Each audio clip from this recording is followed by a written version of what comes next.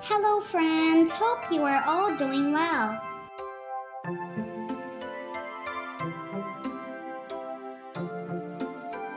In this video, we will talk about moon phases.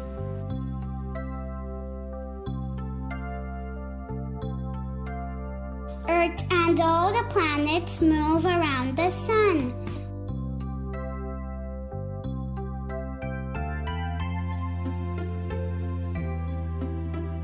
Same like that, moon moves around the earth.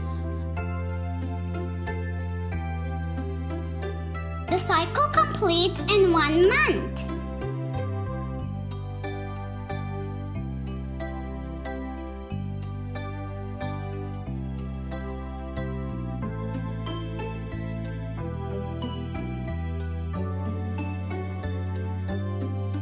Different lit portions of moon that can be seen from Earth are known as phases of moon.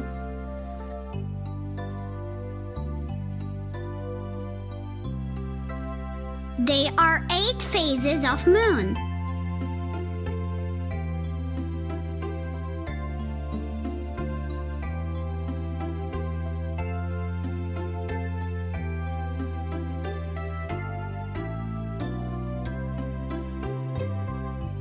New moon is when the moon cannot be seen because we are looking at the unlit half of the moon. A waxing crescent moon is when the moon looks like crescent. And the crescent increases in size every day. Half moon when half of the lit portion of the moon is visible after waxing crescent phase.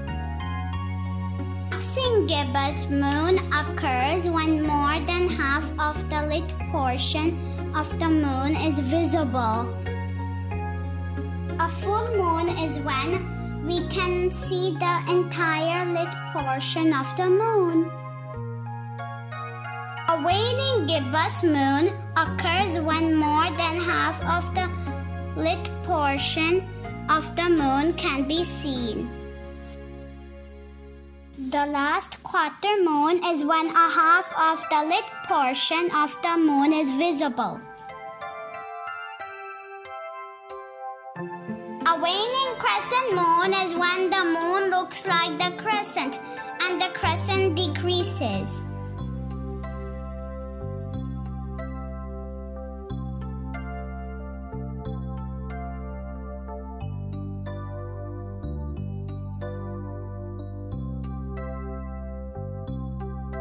Friends, do you know the distance between Earth and the Moon? You have two seconds to figure it out. It's approximately 4 lakh kilometers.